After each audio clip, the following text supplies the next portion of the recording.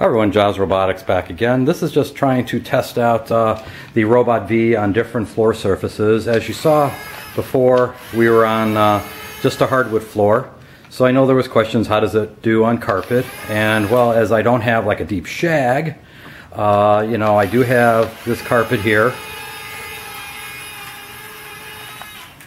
And it seems to, uh, at least, you know, drive, drive well got a lot of uh, energy, a lot of torque that's going to able to go over different uh, different surfaces.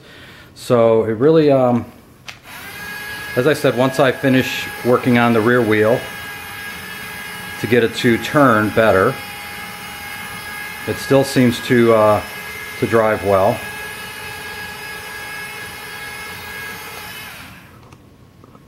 And again, it goes over mountains.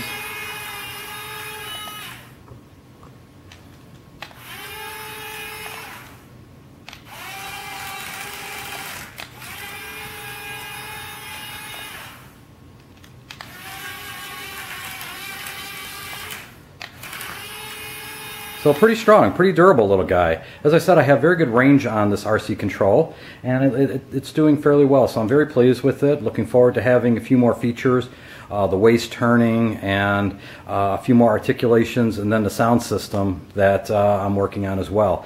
As I said, this is rechargeable with a lithium-ion battery, uh, 7 volts, uh, with the uh, the new treads that are uh, ma made, not the rubber. They uh, have pins in them to uh, to provide the linkages and such. So this is the resin version. Uh, I'm going to probably uh, swap these out on a one of the aluminum ones and try it out to see how it handles it.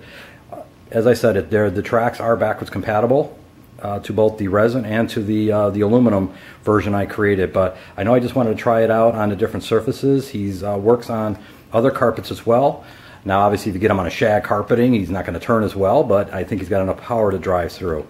So, again, uh, looking pretty good and does well on different surfaces. So, uh, thanks for all the comments. Uh, continue watching for more updates. Thank you.